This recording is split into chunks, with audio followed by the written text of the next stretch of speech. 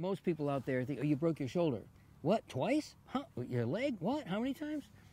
And a lot of people out there think those are serious injuries, but it's nothing compared to what the the serious injuries in our business uh, truly are. And um, the reason I bring up the Jockeys Guild is because, as you well know, when the Guild was founded in 1940, they started keeping records of the severity of injuries.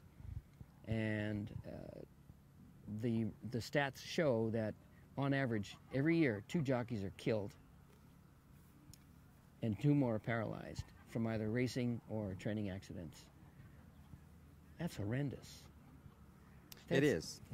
That's ridiculous. When you think there's only 1,500 licensed jockeys in the country, two are killed and, and two are paralyzed every year.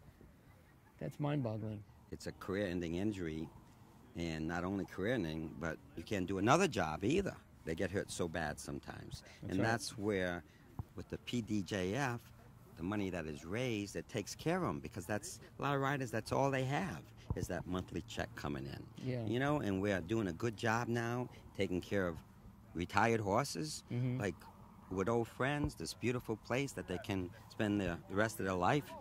Uh, they're taking care of the horses like they should, Mhm. and we need to do what we can to take care of the jockeys. Always.